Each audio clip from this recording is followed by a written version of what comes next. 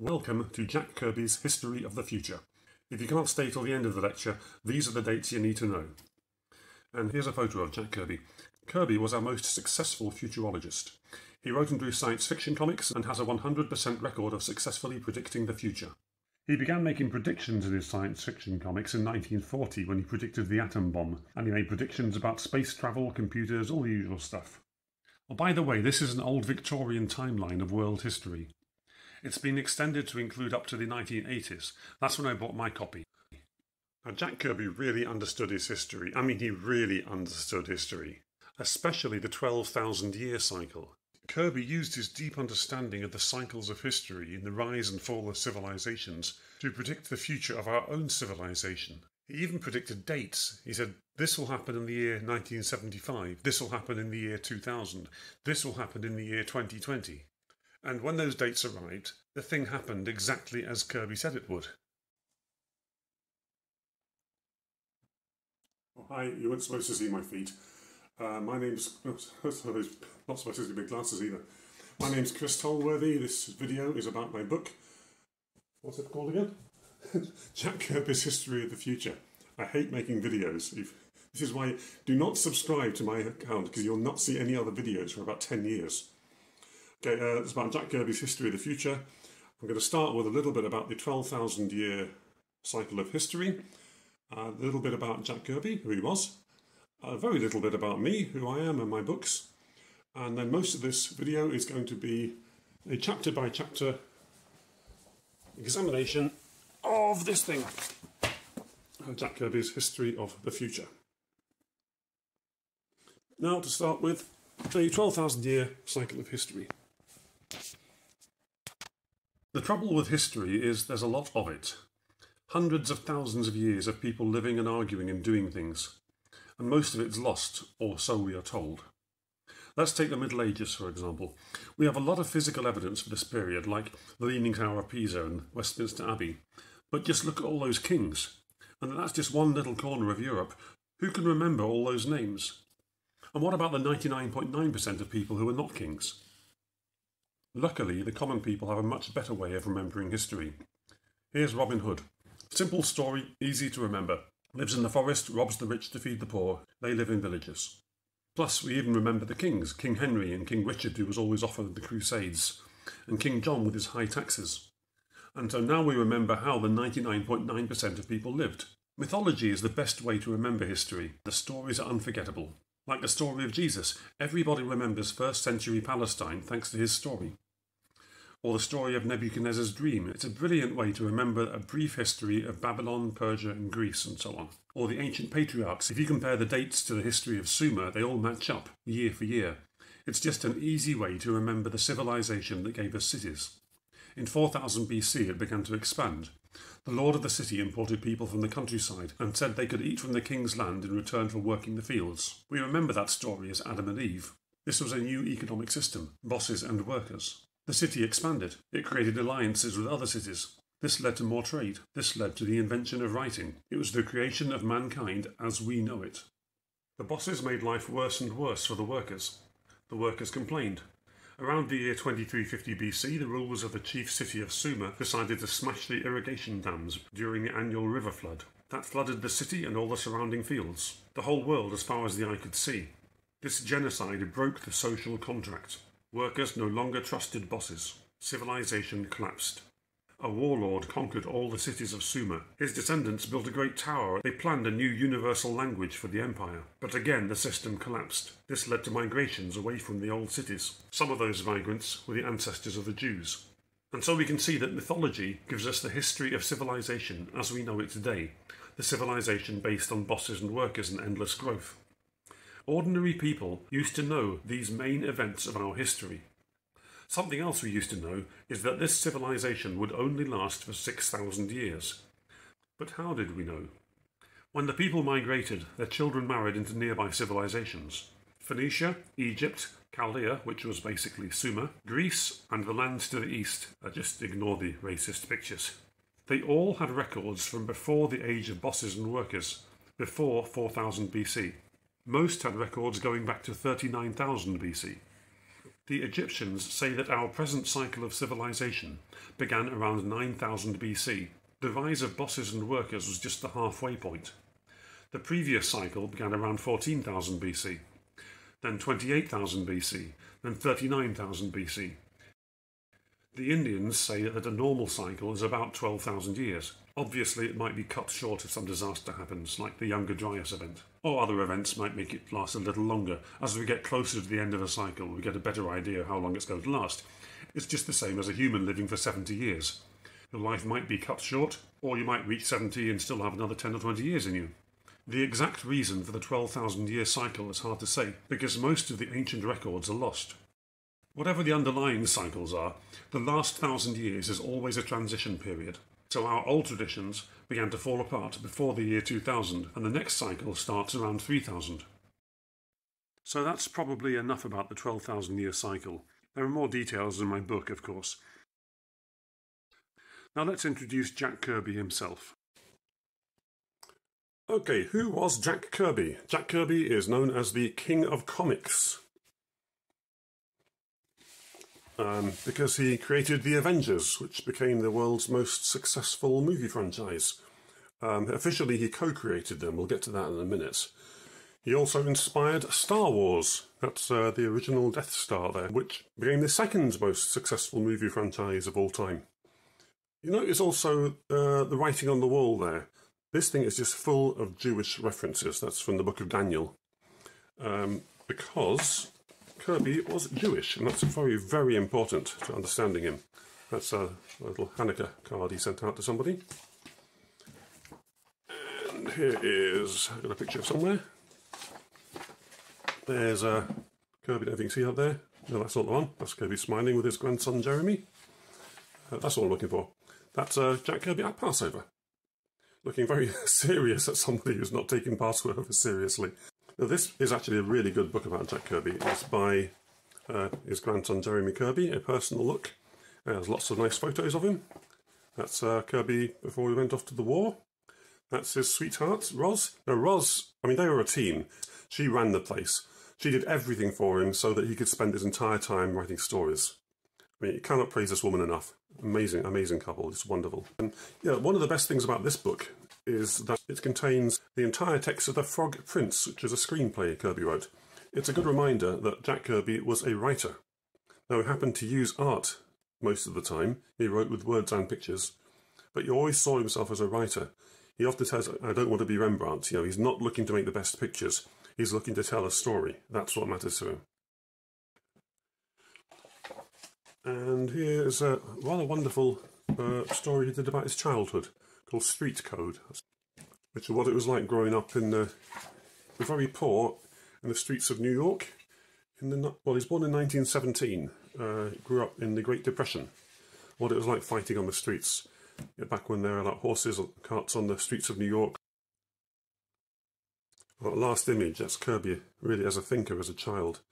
He said, I was hurting. I was hurting for Georgie and me, and for the lousy things we had to do for the street code. The street code meaning the rules of survival, what people do to survive. And it took that feeling into adulthood. Why are we like the way we are? And that's the Eternals. That's one I'm going to focus on a lot.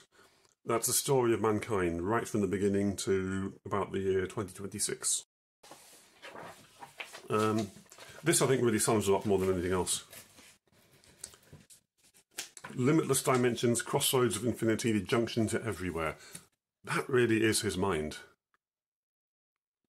Okay, I said how Kirby created the Avengers and all those other characters, but he was only officially credited as the co-creator. This is because his editor, Stan Lee, liked to fill in the word balloons and then call himself the writer. This is how it works. First, Kirby wrote a story like this. It's the menace of the Mega Men. You see, he left spaces where the word balloons should go, and then he wrote the notes in the margins. Down there, down there, and there. Uh, they're quite faint, so there's a printed copy above it. So this is the story as Kirby wrote it. It says uh, a famous archaeologist, that's him, has dug up a statue of the twin god Janus, that's him, the Roman god of endings and new beginnings. The month January is named after Janus. A famous archaeologist has dug up a statue of twin god Janus, wants to verify its date with Reed Richards equipment. That's Reed Richards, the great scientist. So that's the hook for the story. What is the ancient statue? How old is it? And where did it come from? And why is it so fierce? So we've got to turn the page to find out. Even the ancients pondered the problem that still plagues man today. So what is that ancient problem? Again, turn back. The ancient problem is the menace of the mega men and two-faced people wanting to be mega. This radiation test will prove the date conclusively. The rays react. The intensity meter places a statue at 4000 BC. Now notice the word intensity meter. This is a real thing. That is a digital intensity meter. Uh, mentions light or other electromagnetic radiation. In the real world, you'd use a spectrum photometer, which is very similar, but looks like this. If I can find it on my laptop. One of those. But it does the same thing, it's just more complicated. the spectrum photometer would be better for potassium argon dating, which is used for dating rock or clay. So Kirby shows a handheld device to make it clear what's happening. So this is good science. Now, you notice that date, 4000 BC. That's the start of bosses and workers. It's the Adam and Eve date. It's the start of mega men. The ancient Sumerians called them Lugals, which meant big men. Genesis calls them Nephilim, or fallen angels, sometimes loosely translated as giants, the result of mixing men and gods. And the rest of the story has a Cain and Abel theme. According to Genesis 4, Cain was the one who invented cities and hence the class system. So it's looking back to 4000 BC and the start of the class system, the start of mega men, and showing how it's still the same today. This is a huge real world topic. This is the foundation of our civilization. This is the basis for pretty much all the problems we've ever had for the last 6,000 years. This is a big story. So we see how the storytelling pulls you forwards. We've got ancient gods, we've got an ancient theme that's highly relevant today. We've got real science, we've got real history. That is classic Kirby. That is why he was a great storyteller. Now let's see how the editor changed the story.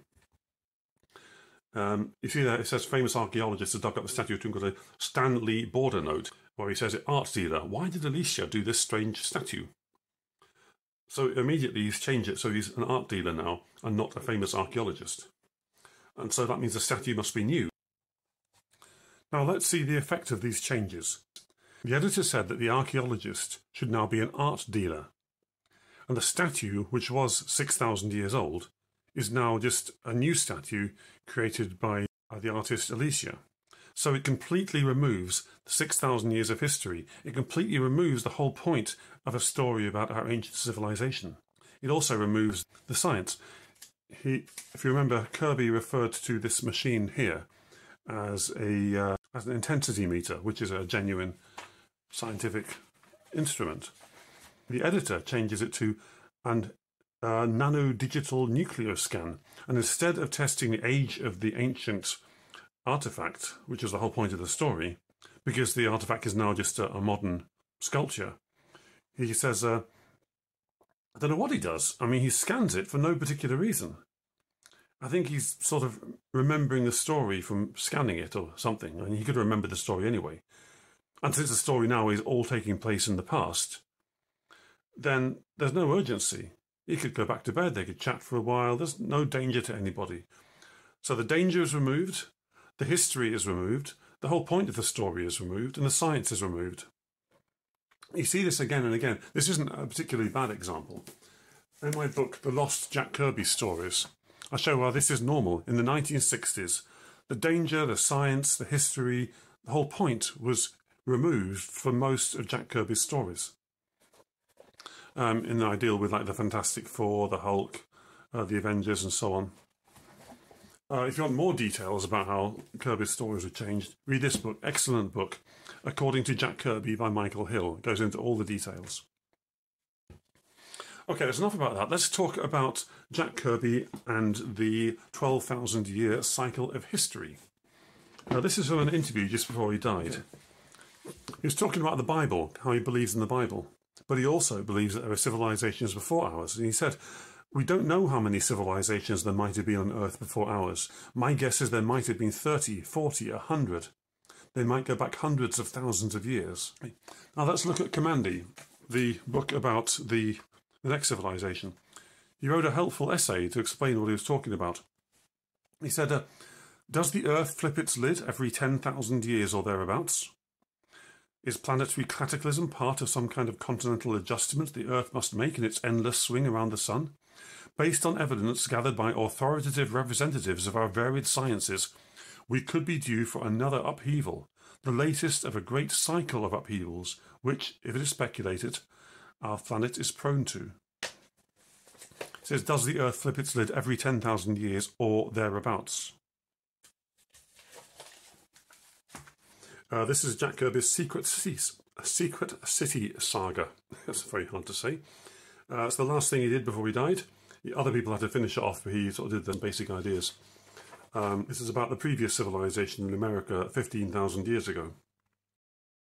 How the Earth changes between civilizations. Uh, this part I think is very important. It really sums up what I'm trying to say here about previous civilizations.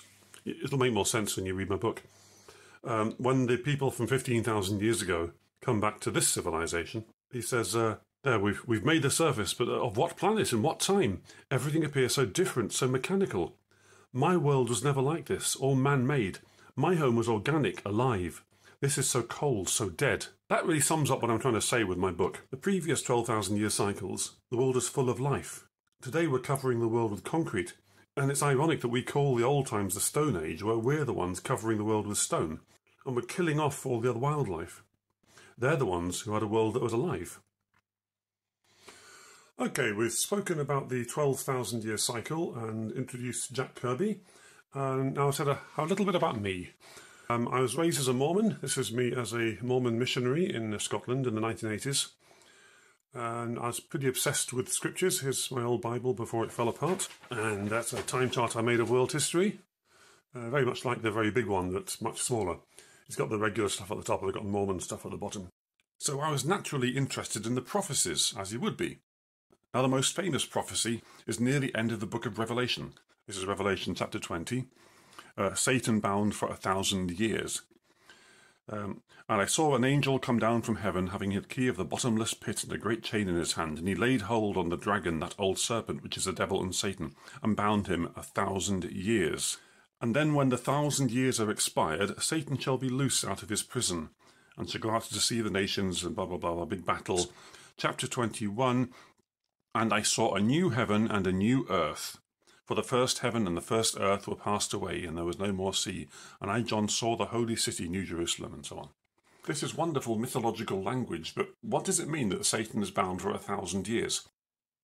The book of Revelation got the idea from the Parsees, that is, the Zoroastrians. Chiliasm, or the idea of the millennium, is older than the Christian church for the belief in a period of 1,000 years at the end of time as a preliminary to the resurrection of the dead was held in Parseeism. So the idea that Satan is bound for a thousand years comes from the Zoroastrians, and it refers to the last thousand years of their 12,000 year model of history, which almost certainly comes from their older neighbours, the Hindus, with their 12,000 year cycle of history. Now, there's something weird about this prophecy. Why don't they just win? Why do they defeat Satan, but then he comes back a thousand years later? Why don't they just win? Here's the problem as a graph. They win, but then Satan suddenly reappears a thousand years later, and they have to win again. Why don't they just win? The problem's even clearer when we step back and include the whole Bible story. It's all up and down. Why don't they just win? Now, in the hero's journey, things are supposed to get worse and worse, but then you win. The 12,000 year cycle is the same. Things get worse and worse, and then you win. In fact, the 12,000 year cycle fits the Bible story very well. It also fits history very well. Now, Revelation said it would be different. But Revelation was wrong. But if you look at when Revelation was written, you can see why. Revelation was written after the destruction of Jerusalem when the Jews lost everything. All their hopes and dreams were destroyed. Now, this is when Christianity became popular.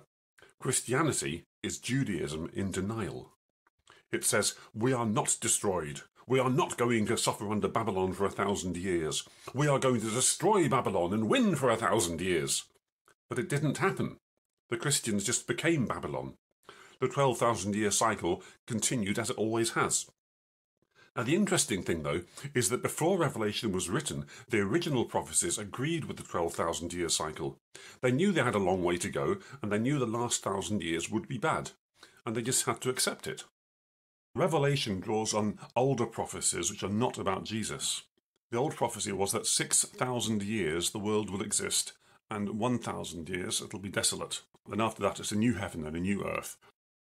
The Jews dated their calendar from when their ancestors were first brought into cities in Mesopotamia about 4000 BC.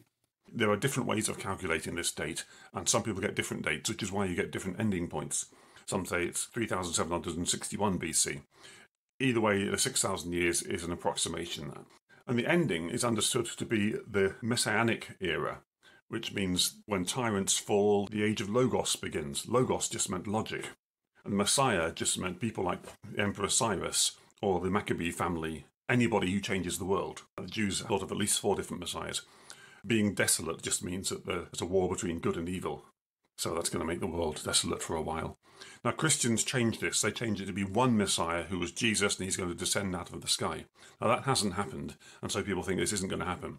But if you look at the original prophecy, it's happened pretty much as they described. Um, this is why I wrote my book about 1830, because one of the dates that was predicted, uh, 6,000 years after around 4000 BC, was maybe 1830, according to William Ward in, in the 1810s. He said it would be the greatest year in the history of the world. And it actually happened. 1830 was the beginning of the age of revolutions in Europe. It's also the beginning of the age of machines. We had the first passenger railway, and railways changed the world.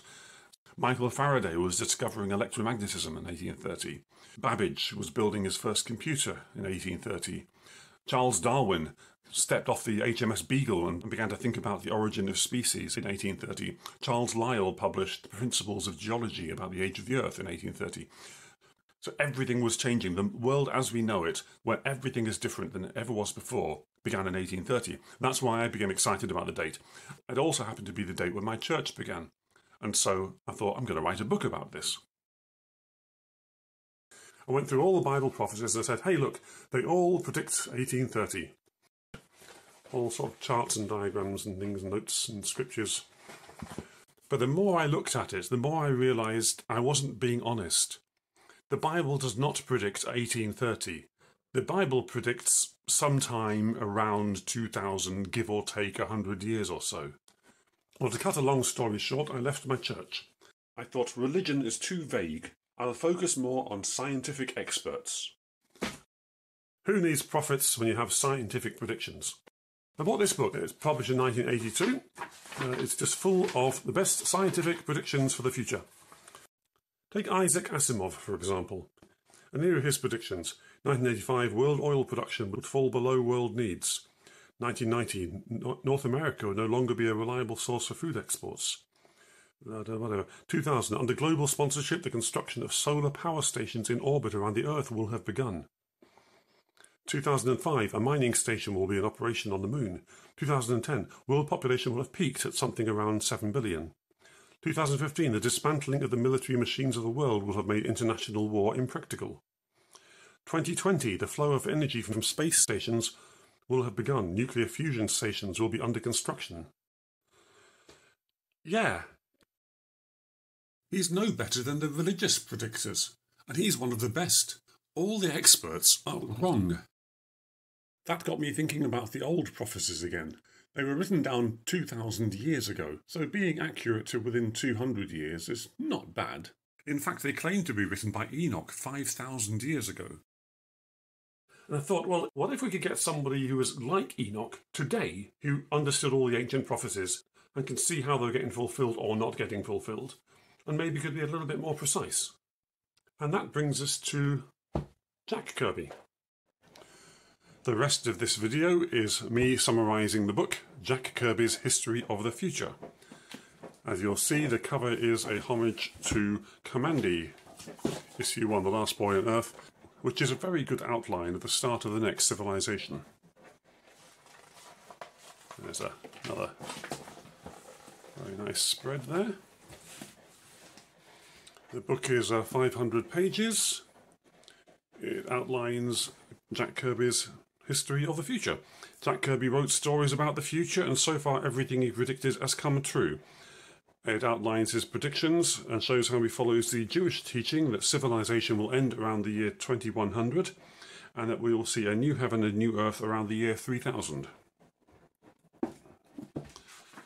Okay, it's really about 30 books compressed into one. There's uh, 16 chapters, 7 appendices. Appendix 2 has 7 sections. Every one of these sections is controversial. If I was going to persuade people that this was right, I'd need to spend 500 pages on each of these 30 sections. Now, if I did that, I'd never finish the book. So all I can hope for is that you'll at least understand what I'm saying. I know you'll disagree. I would. I would definitely disagree with what this person is saying. But hopefully, once the things happen, if they do happen, as I think they're going to, in 2026, 2040, and so on, then maybe people will come back and have a look at the book and say, hmm, maybe he had a point. Okay, this is the, the basic concept. Whatever I have put down with pencil and paper has always come true. Maybe it has always been true. I don't deal in actual speculations, but I play with ideas like invisible building blocks. Now, here's a quick timeline. Basically, every 20,000 years or so, a human species goes extinct. And there's a summary of the predictions if you don't get any further. The introduction is an example of a typical Jack Kirby prediction, and the rest of it is about messianic prophecy. And yeah, if you don't like messianic prophecy, then skip that part. Um, I know what you're thinking. I would think this if I was reading this book. I think this guy is off his head. He's crazy. I mean, Jack Kirby is an artist writer who wrote some stories. What on earth are you thinking? That this guy was some kind of a prophet? Well, I'm interpreting Kirby. Kirby, he encouraged us to interpret his work. Storytellers in ancient times did not have one version of the story that they were trying to force on you. It was a two-way communication. Kirby called his stories a conversation with the readers. And this is my conversation. Your conversation will be different. You might think I'm completely insane, and that's perfectly fine. The proof is whether these things actually happen, you know, in 2026, 2040, and so on. Chapter 1, who was Jack Kirby? Again, this could be a 500 page book on its own. Originally, a plan to have a biography, but that would have taken too long. What it comes down to is Jack Kirby was a human being. He really encaptures what it is to be a human being and what it has been for the last 100,000 years. Okay, chapter 2, which originally was, was chapter 1. Um, Kirby knew a lot of stuff. That's what it comes down to. Kirby knew a lot of things. And what I do is I go through one of his typical stories. There's 16 of these in the book. And I point out that they're absolutely packed full of art. Uh, well, here, references, popular culture, literary tropes. This is why I love Kirby stuff. You can go back and read it again and again and again. You'll always find something new. Really, a whole book could be written on every one of Kirby's five-page stories. The rest of the chapter is just an overview of just how much Kirby knew and how he knew it. He had extremely broad general knowledge, terrific political insight, his love of the classics, and how he really lived the classics, how everything he did was based on experience, deep understanding of stories from around the world, science, obviously, how he'd predict things before they happened. Life, this is going to be a big part of the book. You might think the rest of the book is garbage, maybe it is, but I would encourage you to look at chapter 15 on life. That's where I take some of Kirby's ideas, push them as far as I can go, and argue from first principles what life actually is. Uh, socioeconomics, history. Kirby knew a huge amount of history. In this book, I make big claims about information encoded in Kirby's stories. Kirby did not intend this stuff, but he was adapting mythology from thousands of years ago. So without realizing it, he was passing on information from thousands of years ago. In chapter 3, I argue that Kirby wasn't eternal. That is, somebody who remembers the ancient past. Um, I also argue that Kirby, as you know, his real name was uh, Jacob Kurtzberg, is very much like the original Jacob. In that he fights with angels, he fights with gods. He's not religious in a modern sense where you obey gods. In the ancient sense, you fight the gods. The rest of this chapter is Kirby's first full-length story, and I just comment on each page. Because my argument is that storytellers are the most valuable people we have. Stories preserve values, they preserve history, they are the culture of the tribe, they are the things that will help us to survive. And so I go through 10 eternal laws which we can derive from a story like the Diary of Dr. Hayward sociology is the most important science. This is a big one later on because we think of ourselves as being scientifically advanced, but in the sciences that matter, we've gone backwards. We're very, very primitive. Um, killers pretend to be friends. That's a big one. I, I get a little bit political there. Moving forward, it's easy to be fooled. All these eternal laws. If we learn these things, we survive as a civilization. And our civilization, I think, is forgetting these things. I think people opposing nature, uh, wanting to be gods. A lot of Kirby's work was about gods. There are two ways to look at Kirby's gods. There is the god, i.e., connections, basically logic, the universe, that which connects us all. And then you have people trying to be like that. I am a priest, I am a king, I, I am inspired, I have something special inside me. So people use technology for war. These should be very banal, very mundane, very ordinary ideas, and yet we forget them. Our modern world is built on the idea that technology is good. No, technology is a tool. If you don't get the sociology right, you're just giving tools to tyrants.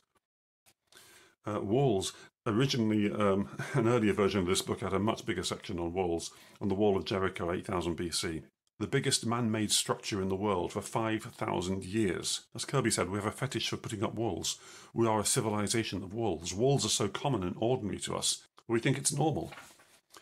Uh, our stories make us think, this story seems pretty straightforward. There's a good guy and a bad guy. But when you look closer at it, things aren't what they seem.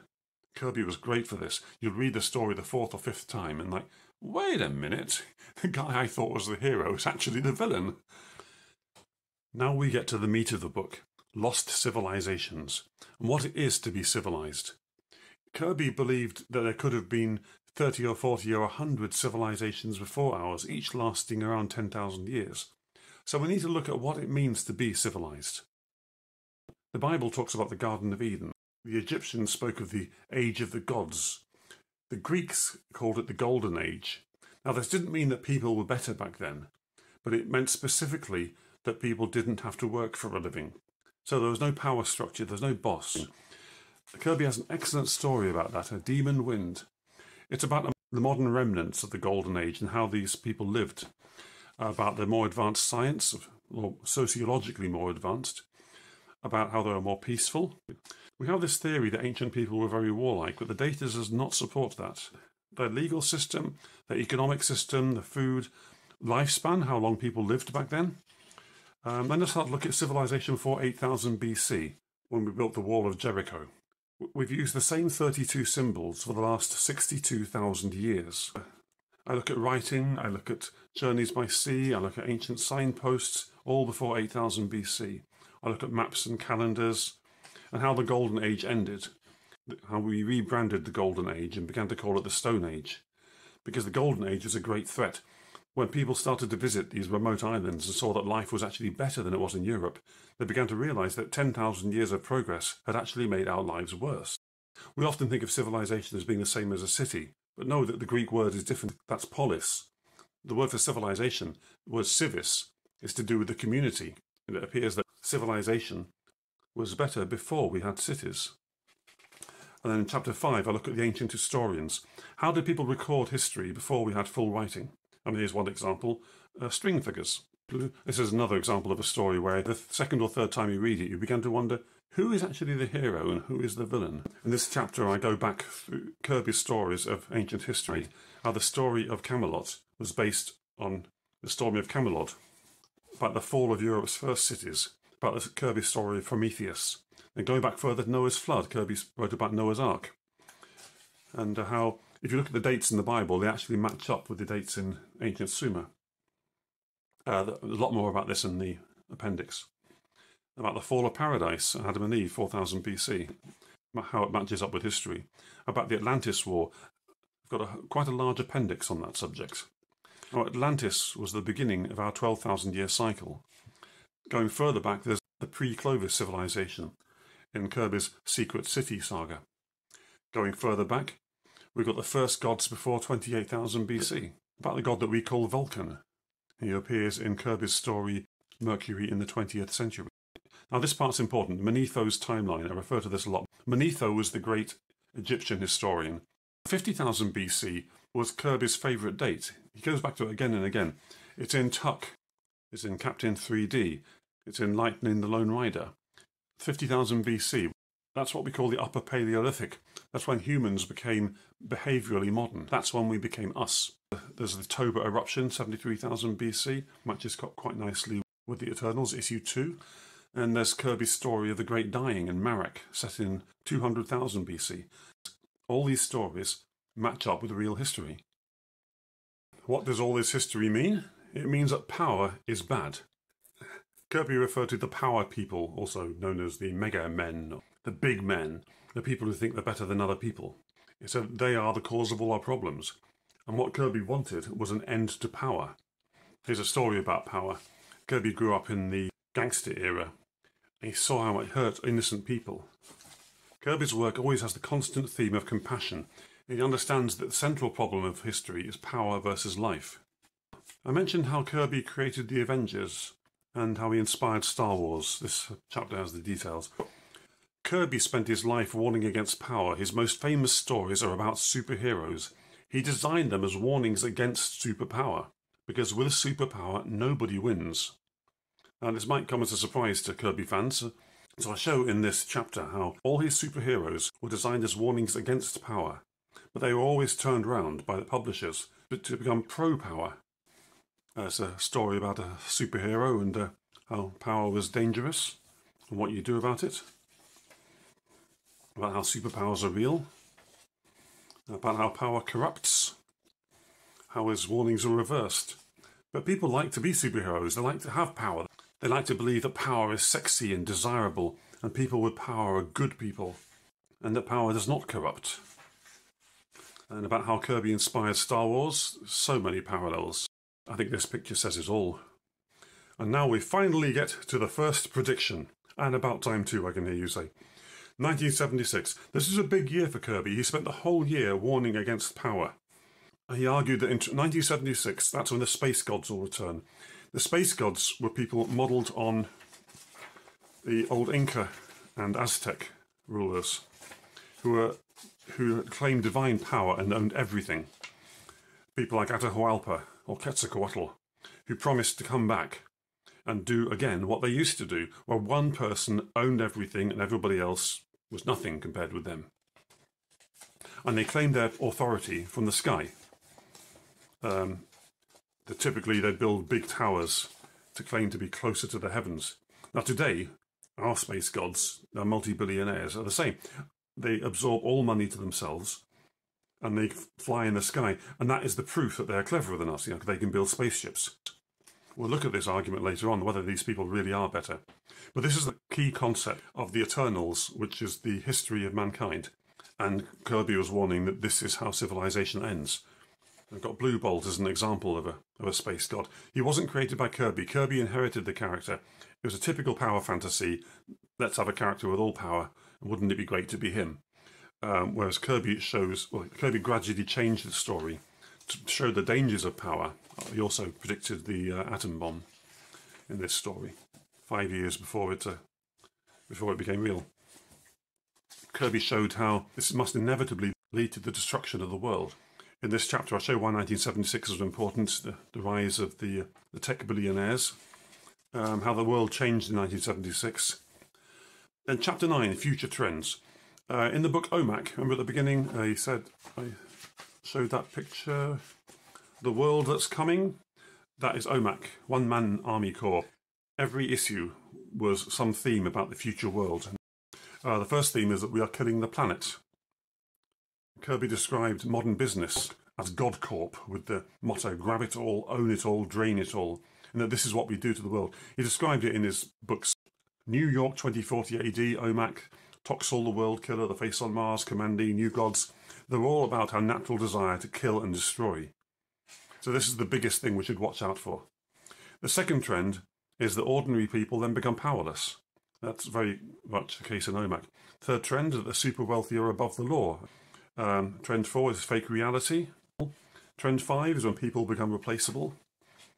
Uh, trend six, smart atomic weapons. Wars become safe for the elites. This will be very important later. Um, people who are desperately poor will do anything just to survive. The oceans are drained of resources, and China and America in conflict. Uh, then, chapter 10. This is probably the part you're waiting for. Here is the actual timeline of the future starting 1940. 1940 was his first prediction. It wasn't actually a dated one, that was about the, uh, the nuclear weapons. Now, the important thing to know here is how mythology works. This is a story about an alien spaceship appearing and, and presenting people with an ultimatum. It is clearly based on the movie The Day the Earth Stood Still. We need to recognise that although it's about a robot, it's also about the Cold War, particularly the Cold War in space, because they come from outer space. Once we understand that, then we can see the real world elements of a story like The Emissary, how enemies finally become friends. It says it takes place in July 1975, and that's exactly what happened in July 1975, more than two decades after the story was written. The next prediction is the anti nuclear war movement.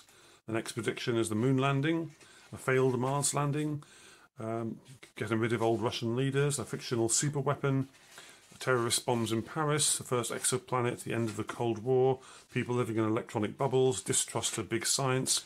All these things were predicted, all these things actually happened. And finally, we come to 2026. Jack Kirby's Eternals gives us the history of the world. It says the space gods will arrive in 1976, they'll watch the world for 50 years, and then, i.e., in 2026, they will decide if the world lives or dies. Now, the space gods historically have been people like Atahualpa, Quetzalcoatl, or today, people like Jeff Bezos and Elon Musk. People with enormous power, power that grows every day, so that everybody else becomes very insignificant. Even now, if you want something done from a government, you've got to be rich. There are still a few loopholes, but those loopholes will be closed by 2026. By 2026, you'll have a choice of two parties either the party of the rich or the party of the rich. Now, at first, this might seem like a great thing because these people provide everything we want. Now, Kirby had a story about this. What if you have somebody who's got tremendous power and just gives you everything you want? Isn't that a good thing? Well, no, it's not a good thing because that is not nature's way. If somebody has all power and one day they decide it's in their interest to kill you, then they will kill you. They might decide to feed you now, they might decide to kill you tomorrow. That's what power does. We think, well, they'll never do that to us. Of course they won't. Well, another thing that happens in 2026 is this is when we are due to reach 1.5 degrees above pre industrial levels of global warming. Now, this was a big milestone that we promised we would never exceed in the 2016 Paris Accord. But we did it anyway. And why? Because it makes money. It makes money to allow global warming, even though it kills millions of people. So in 2026, we will have our proof that people with power will kill millions of people if it makes them money. So the question is will it make them money to kill us? Hmm. We'll look at that in a later chapter. Chapter 12 is 2026 to 5000. Now we continue the timeline of the future. That's a, a kind of Kamandi story which uh, Kirby wrote in the 1950s. A lot of people think that Kamandi was copying Planet of the Apes. And certainly that's why the publisher was happy for him to publish that. But all the major elements of Kamandi were already in The Last Enemy in the 1950s. By 2040, that's when we should have private space travel. As far as I can see, we are well on track for that. 2050 is when the future starts to look very bad. You ask young people today, I think you'll say we're on track for that. 2065 is when machines start to replace skilled humans. They already replace unskilled humans to a large extent. 2065 is when people start to realise that nobody's job is safe. 2072 is when global warming leads to conflict with China. 2088 is when we realise we have one last chance, but it starts to look very, very bad. 2089 is when we have rival spaceships. It's not just Elon Musk anymore. 2090 is the first successful humanoid robots. And that is when ordinary humans realise they are obsolete, they are no longer profitable. 2095 is when anybody with any sense realises that Earth is history. 2021 is the Great Disaster, the event described in Kamandi. Now, Kirby doesn't specifically say 2021, but you put a lot of clues together, that's the, by far the most uh, likely date. Uh, I deal with some of the changes described there, um, what he means by talking animals. Um, 2140, the Mars colony has to survive on its own because Earth has collapsed. 2150, the super rich have given up on Earth. 2165 and possibly 2190 is when The surviving people are reassuring their children that everything's okay, really, everything's safe, really, when really it isn't. But 2260 is when law and order returns on planet Earth. 2262, when nuclear weapons have long since been banned. 2306, first trip to Mars since the Great Disaster. 2389, we're still not using faster than light travel. The curve is very realistic. 2500 is when we explore other worlds. 2514, a major atomic war, happens long before this date. That's the one that was referenced in um, The Last Enemy. All he says is that there was a major atomic war at some point. It might be the one in 2121, there might be another one, we don't know. 2540 is when comics are mainstream ancient mythology. People will see Captain America and Spider Man the same way that we see Robin Hood today. 2957, Earth and Mars are at war. 33,000, finally a golden age of peace, probably. 3000 is also known as, the, known as the greatest age of technology and peace. 3000 is a very popular date for Kirby. It's also when we adapt our bodies for star travel. And 3045 is when most people leave for new planets. 3048, those left behind just want to have fun. 3500 is when war returns. 3994 is a dying world. 4000 is also a dying world. 5000 is when Earth dies and is reborn. 5000 is when new humans are smaller. Bonus uh, prediction there 6 million or earlier, it's difficult to say, depends on how you interpret it, is the sixth age of mankind, when humans look rather different. And now we come to the road to Armageddon, how we reached the nuclear war of 2121 and why it was inevitable for the last 10,000 years. And this is really summed up by the wonderful Cadmus seed story. This is really an overview of the last 10,000 years in terms of cause and effect, what the Greeks described as the origins of strife.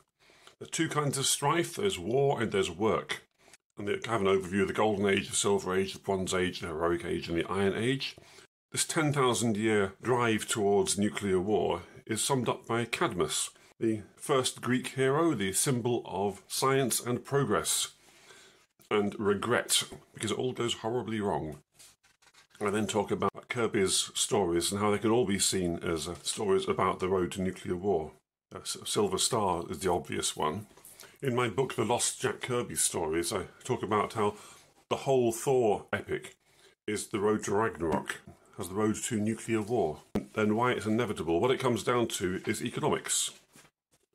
At the moment, 91,000 people, that's the, the top 0.001%, own 33% of global wealth. The next 0.14% of people, that's 8.4 million people, own 51% of global wealth. And there's the rest of us, the bottom 99.9%, own 16% of global wealth. But at the moment, they need us to do the work. So we have to buy stuff, we have to go to work, and so on. However, as machines improve, the numbers change. We become less and less important, and they don't need us anymore.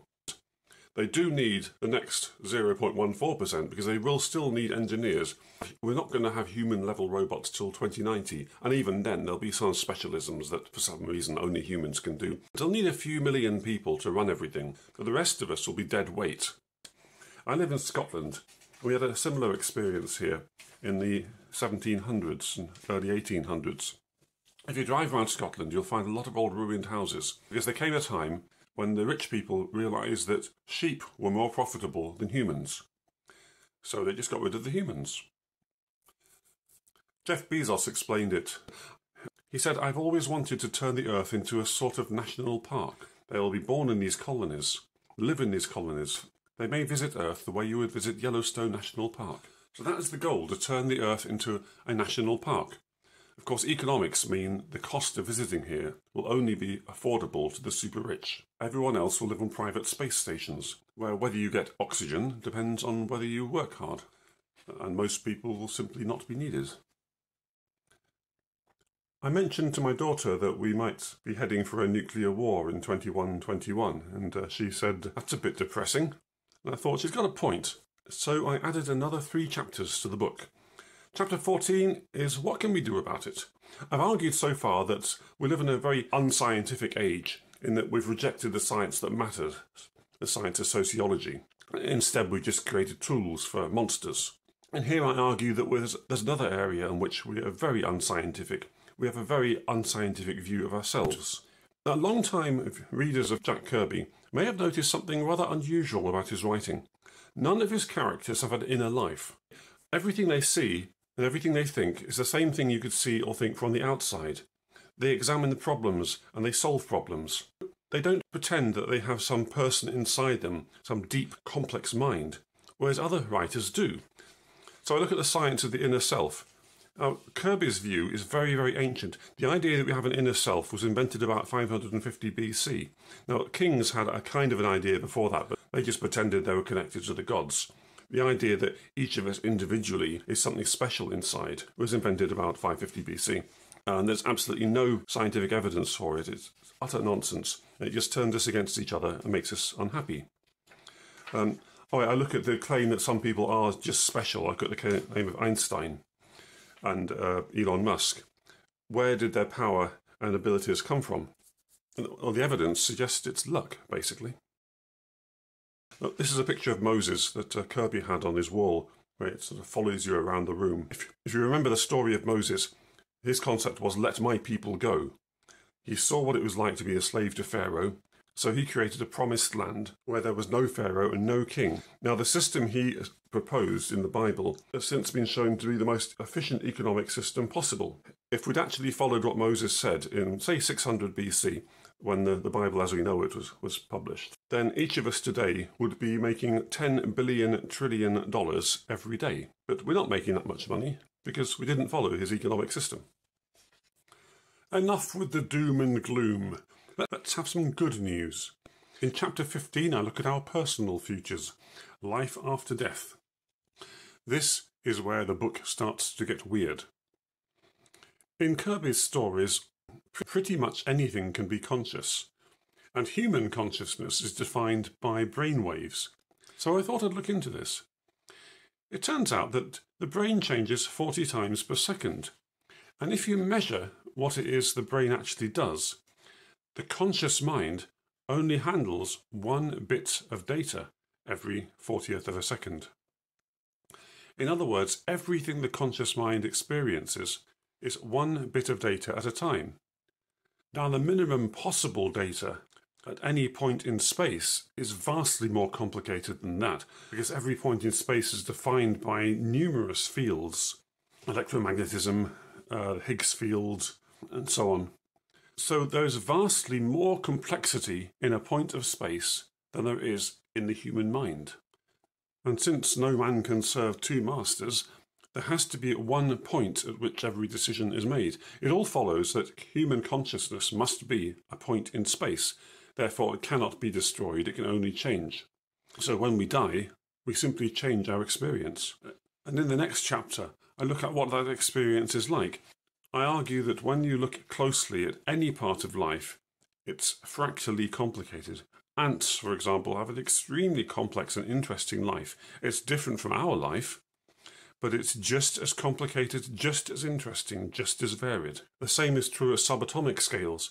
Whichever scale you look at, life is just as interesting, just as complicated, just as fascinating as the human scale. The main difference is that with a smaller brain or no brain at all, we have fewer or no problems, because the brain is a machine designed to feed problems to the mind. The brain is trying to model the entire universe and trying to guess what will happen in a minute's time, and an hour's time, and a day's time, because the brain is such a complicated and unnatural device. Simply existing is a problem. Most of the universe doesn't have that problem. Most of the universe just goes with the flow. Without a human brain, we don't have the problems, but we do have the experience. We do have the friends, we do have the relationships, we do have the knowledge, we do have the awareness. If anything, we have far more awareness because a point in space is connected to every other point in space. So I finished my book with a quote by Kirby. You'll find out that my characters never die. It's my ode to humanity itself. We never really die. Now we come to my favourite part of the book. Up until now, I've made a lot of big claims. This is why I back them up. Right, the first claim was that people can see the future to the precise year even hundreds of years in advance. Why? Because they understood the cycles of history. Otto von Bismarck, he understood war. He understood in 1898 that there would be a war 20 years later, and he was right. Ferdinand Foch, the Supreme Allied Commander in World War I, in 1919, he again understood there's going to be another big war 20 years later, and he was right. Even the children can tell. In this cartoon from 1919 is a child who knows he'll be a soldier in 1940. Another example is Theodore Herzl. In 1897, he predicted the founding of the Jewish state within 50 years. John Brunner, science fiction writer. In 1968, he wrote a book called Stand on Zanzibar about the year 2010. It was remarkably good. The Book of Enoch. I mentioned the Book of Enoch a lot. Here's more details about its predictions for Armageddon before the year 2239. Now, this date you will remember is 6,000 years after the fall of Adam. Now, the Jewish date for that is 5761 BC, which was calculated using the shortest possible assumptions, so the probable date is before that. Uh, more about the 12,000 year cycle. Um, why 12,000 years? Then the Daniel's AD 37 prophecy. This is probably the clearest and most impressive prophecy in the Bible, but most people miss it. They either want to believe that Jesus was not a Messiah, or they want to believe that he succeeded. What actually happens is he failed, but he still fulfilled the prophecy. Uh, Isaac Newton, very, very clever man, you may have heard of him. He calculated, based on the prophecies, that the end of the world must be sometime not before 2060 and not after 2344. Handsome Lake, who was the great prophet of the Seneca people, he reckoned around about the year 2100. He called it the fourth world. Interesting. It's a phrase that Kirby used. And now for the big one. Appendix 2 How Scholars Destroy History. Throughout this book, I've argued that storytellers preserve history, scholars destroy history. Obviously, kings destroy far more history, but scholars are the ones who enable it. Um, here are seven examples of how scholars have destroyed far more history than they've ever preserved. Uh, example one is destroying 2,000 years of Hebrew records. You may have heard of the documentary hypothesis, the idea that there are multiple source documents for Genesis and that we can work out what they are. And the scholars have been doing this for hundreds of years. Then, very embarrassingly, the original source documents were discovered, and it turned out they were completely different from what the scholars said, and they backed up what Genesis said. But instead of following the real documents, the scholars continued to follow their imaginary documents. It, it's an absolute fiasco. The second example is destroying 10,000 years of American records. There are many examples to show that oral history of the Native Americans goes back 10,000 years, but it makes the European invaders look very bad. So the invaders kill as many Indians as they can. They displace the rest of them so that they're no longer on their lands, which makes it very hard to remember the oral history because most of the history is tied to particular places. These rivers and valleys become memory aids. Remove the Indians from their homes, and it's much harder to remember all the details. And then they re educate the children and force them to learn modern history and forget their own past, and so on and so on. And the scholars not only support it, but they make it very difficult for the Indians to get ahead in the universities. In theory, they do, but in practice, they're very, very limited in what the natives can do. Example three is destroying 10,000 years of Phoenician records. Our oldest and greatest historian was Sanchuniathon, the Phoenician. He lived around 2000 BC, and he realized that the oldest records in his day were being forgotten. Because back then, the oldest records were written on pillars, such as at Göbekli Tepe, and you needed a great deal of training to understand what these symbols meant, and people were beginning to forget. So Sanchuniathon went around all the ancient pillars trying to work out what they originally meant. His records were then saved on the Canaanite pillars. But if you read the books of Kings and Chronicles in the Old Testament, the high priest Hilkiah and the young king Josiah, they were the greatest scholars of their day went around systematically destroying these pillars. Example 4, destroying 110,000 years of Yazidi records. Uh, in Appendix 3, I talk about the Yazidi records and how they go back 110,000 years. Uh, modern scholars just dismiss them as being forgeries, even though there's no evidence for them being forgeries, and the records appear to be confirmed by archaeology. Example 5, destroying 9,000 years of Atlantean records. That's going to be the focus of Appendix 4. I just give one example here. Most scholars will say that it was never intended to be taken seriously. So they say that Aristotle, who was Plato's famous uh, disciple, did not take Atlantis seriously. That is complete garbage. Uh, Thorwald Franke has gone into great details to examine where this came from. It can all be traced to a mistake by a, a French scholar in around the year 1800. But because it suits what scholars want to believe today, they'll still quote this as a fact when all the evidence shows that Aristotle, like everybody else, knew that Atlantis was a real place. Example 6 is destroying 1,000 years of future history. Now, this is an interesting one. I've argued that storytellers are our best guide to history and that they see the patterns in history, and so storytellers are also a very good guide to the future. Now, in terms of the future, if you read what the best storytellers say, that is the one to have the best understanding of the past, they all agree on what's going to happen in the future. First, we're going to have more technology. Second, we'll have inequality. Then there'll be a nuclear war. Then a post apocalyptic period. And then we'll have more equality for a while. That's an outline of the future that all the best storytellers agree on. However, there is there are some storytellers who say, no, no, no, the future is going to be wonderful. Technology is fine. We're all going to be happy and I will solve our problems and live in a technological utopia. The poster child for this is Star Trek specifically Gene Roddenberry's Star Trek. And here I show how Gene Roddenberry did not create Star Trek. These are the documents for how Ib Melchior created Star Trek. Now, Ib Melchior was well versed in history, so like every other great writer, he understood that the future would have problems and we will go through cycles, that they will not have a techno-utopia future. But Roddenberry was not well informed about history, so when he took it over, he thought, oh no, everything will be fine. Scholars then come along and say, well, Roddenberry must have created it because all the fans say that Roddenberry created it. They then give Gene Roddenberry the, the seal of approval. And so we have scholars then saying that, that great writers disagree over the future. No, great writers do not disagree over the future. They might disagree over details, but the great writers have a very consistent view of the future. We know the future. But because the scholars have given credibility to people who are not great writers, then it muddles the future and suddenly we don't know anymore. Destroying 2,000 years of Western civilization. As we discussed before, civilization comes from the word civis, meaning the community. Now, Jesus had a plan for civilizing the Western world. That is, showing the Western world how to live as a community. Now, the last 2,000 years has been a story of people following Jesus trying to get the Western world to be civilized, to live as a community, and other people trying to get them to live as slaves under a hierarchy of power. It's a straightforward story civilization versus power. However, the scholars then say, no, no, no, we don't know what Jesus taught.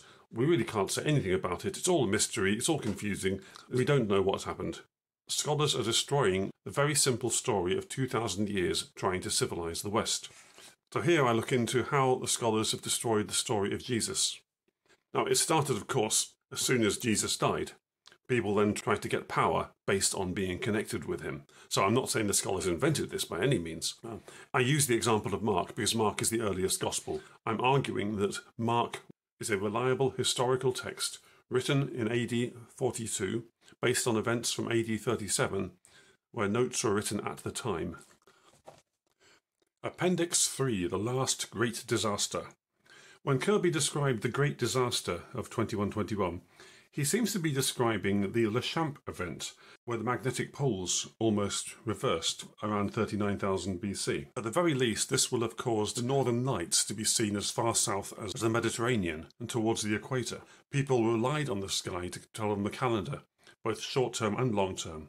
The sky gave you the, the patterns and the cycles by which all the world runs. So when you see lights in the sky in the north and you've never seen them before, this was highly significant. That was the time when Homo sapiens moved north to take over the lands of the Neanderthals. And all the major civilizations date their history to that date, 39,000 BC. I find it remarkable that people aren't talking about this. You know, I look at Egypt in 39,000 BC, China in 39,000 BC, India in 39,000 BC, the Jews in 39,000 BC, the Mesopotamians in 39,000 BC. They seem to have records going right back to 110,000 BC. and I have a section on Kirby's various lost civilizations, and showing how his stories, although of course they're fictionalized and dramatized, he tries to make them as entertaining as possible, they all describe technologies which are kind of like the real technologies we really had 10,000, 20,000, 100,000 years ago. And now, everybody's favourite appendix, Atlantis. This is where I show that there are at least four different accounts of Atlantis that predate Plato. If we focus on those accounts of Atlantis, the older ones, then we get a much better idea of where it was, what happened, and so on. Atlantis was never lost. Everybody knew where the lands of Atlas were, on the Sea of Atlas. Um, when it said island, it just meant over water. The island of Meroe, for example, we would not call that an island today. That was the capital of Nubia, the great rival of Egypt. But because they had to cross a river to get there, they call it an island. Similarly, they used to call the continents islands because they had rivers separating them. Now, you could walk around these rivers overland if you wanted to. You could get from Asia to Libya um, without crossing the, the Nile. You could get from Asia to Europe without crossing the Phasis if you wanted to. But in practice, you would cross those rivers. Because you cross water, they are called islands. So when we're looking for the island of Atlantis, we're just looking for somewhere where you cross a river or cross water to get there. Um, the Atlantic Seas. This is not the Atlantic Ocean. Ocean was a very different word. Plato called it the Atlantic Seas, or in other words, the Seas of Atlas. These are the inland seas that used to be in Tunisia. They're much, much smaller today. But the Sahara used to be a lot wetter. Uh, I covered the Pillars of Heracles. There are pillars of Heracles at all the edges of the, the Greek world. Now, the Greek world at the time was the Eastern Mediterranean. So the western pillars were between Carthage and Sicily. If there was any doubt, you can check the, the book On the Cosmos by Plato's student Aristotle, in which he states that the pillars of Heracles were just around here, which is, of course, where the Sea of Atlas is. Here I show this is always the natural boundary. Around about the time of Atlantis, about 8000 BC, sea levels are lower. Archaeologists have found a monolith there which marked the, the boundary between the eastern Mediterranean and the west. This was just a natural place for any boundary mar marker, such as the uh, Pillars of Heracles. The, pillar, the pillars was a stela, it means a stone with writing on. But as the Greeks expanded their lands, they moved west, and so their idea of the western pillars started here, then moved to here, and then moved further over here. Um, I show how the location of Atlantis was never a mystery. Just, just read Herodotus, he makes it very clear. We're talking of the Atlas Mountains and the Sea of Atlas here. Um, some of the accounts of Atlantis that predate Plato. Now, scholars will say they aren't really accounts of Atlantis, they're talking about the daughter of Atlas, but the daughter of Atlas is Atlantis, it's the same word. For example, Israel is a land, but it's also a people, it's also an individual because they would have their original ancestor, the man Israel, who then have descendants called the people of Israel, and wherever they lived was the land of Israel. So when we talk about the daughter of Atlas, we're automatically talking about her followers and the land they lived in. Um, here we're talking about how the, an earthquake caused the flood, the exact location of, of Atlantis. funny thing, um, Star Wars, the original movie, it begins at the Lars family homestead, which was filmed just here within the boundaries of Atlantis uh, the Atlantis War and archaeology, people tend to think of Egypt as beginning 3000 BC. That's just when one king became eh, king over the whole region. But it was the same people and the same lands right back to 9000 BC and before. Uh, the origin of Athens is just as they spoke about in the story of Atlantis. Now, Plato said that you could read the story of Atlantis on the walls of the Egyptian temples, and you can. And here I show where it is. It's all about the people of the cow. Once you understand who the people of the cow are, then it all falls into place. Even Athens remembered the Atlantis War. Remember, Atlantis just means the daughter of Atlas. So if you're talking about a war against the people of Atlas, well, there's a very, very famous war against the, against the people of Atlas. When you look at the details, it all matches what Plato spoke about in the, the Atlantis War. Uh, another account of the Atlantis War is in Hesiod's Theogony. Uh, he calls them the Gorgons, it was defeating the Gorgons is what gave Athens its power, or defeating the Atlanteans, in other words, just as Plato said. Plato was very precise about the measurements. To cut a long story short, during the wet Sahara period, there was a river, a very large river, the Tamanrasset, which ran from the Atlas Mountains right down to what they called the Karagoli, which means the spiral structure. And this appears on all the ancient maps, the Karagoli. In fact, the maps seem to be written, drawn as if they are intended as a map of how to get there. You go down to the islands, You follow the mountains inland, you get to the Caragoli. When you get there, you find the Hippodrome, which is the, the racetrack, and the, the chariots of the gods. There's some kind of ancient tradition of ancient chariots being at this great circular land feature. The area is full of rock art showing chariots. So when Plato describes this as a great chariot race, he didn't make it up. The Caragoli, the spiral structure that we call the, the Richat structure, was a natural fortress. So every five or ten thousand years, when the Sahara was wet, when it was full of people, this would be a natural place they would gather, be connected to the sea via the feeder rivers, the Tamanrasset, in this area and then every five or ten thousand years it would dry up again. So this would become a legendary fortress. So it was no surprise that come 9000 BC, when people started to build cities, when the people of Atlantis built their city up here, they modelled it on the ancient natural fortress down here.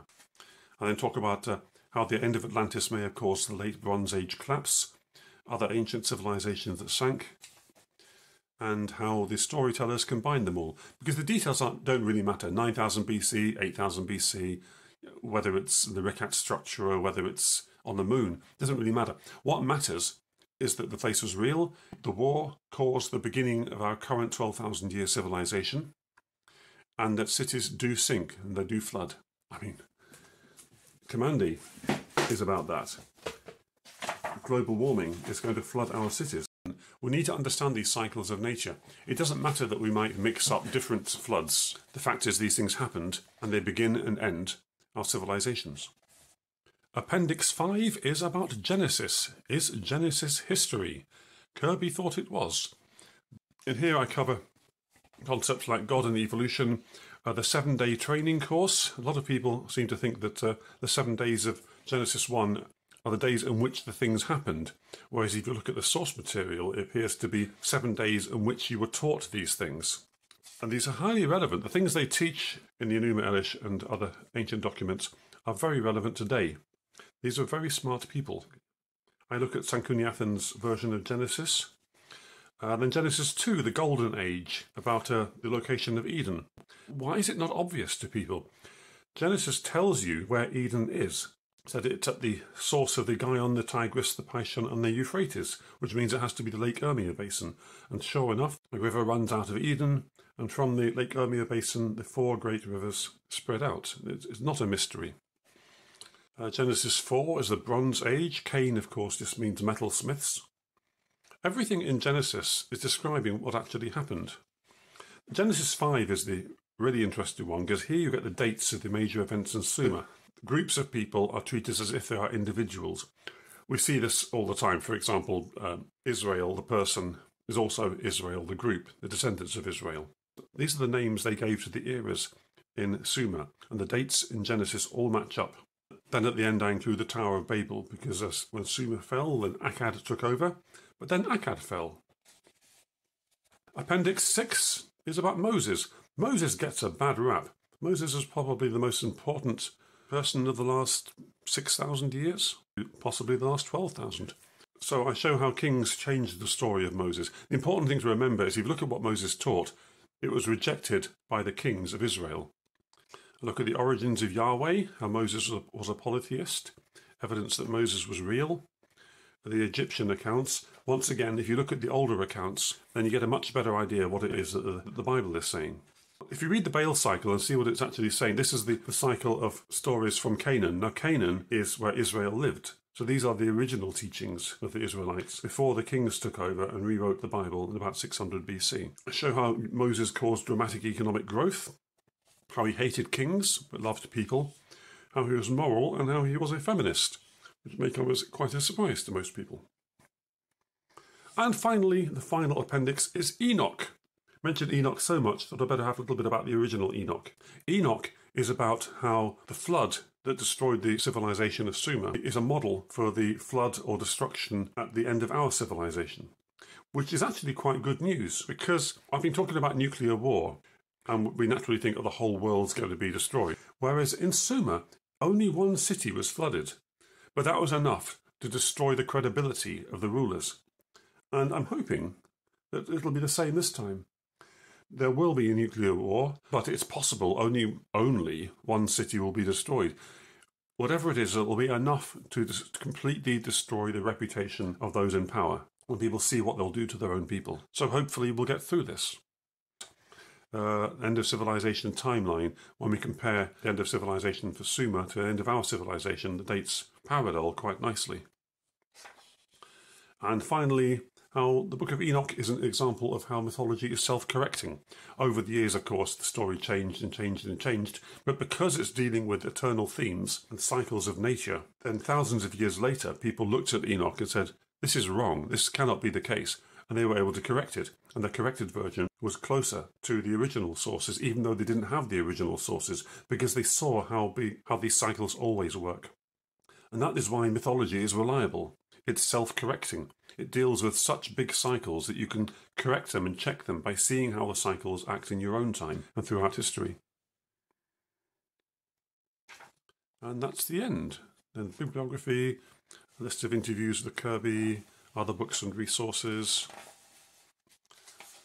Um, about the copyrights, I have used a number of how to copyright uh, stories. Acknowledgements, uh, don't forget, 2026 End of Democracy, 2040 Privatized Space Travel to Other Planets, 2065 Machines Replace Skilled Humans, 2072 War with China due to global warming, 2090 The First Successful Humanoid Robot, 2021 The Great Disaster. And the last word goes to Jack Kirby. My stories were true. Thanks for watching my video. I hope you like the book. You can get it from lulu.com, L-U-L-U. Just search for Tolworthy or Jack Kirby. Or you can get a free digital copy on my website, tedagame.com, stands for the endless do anything game.com slash books.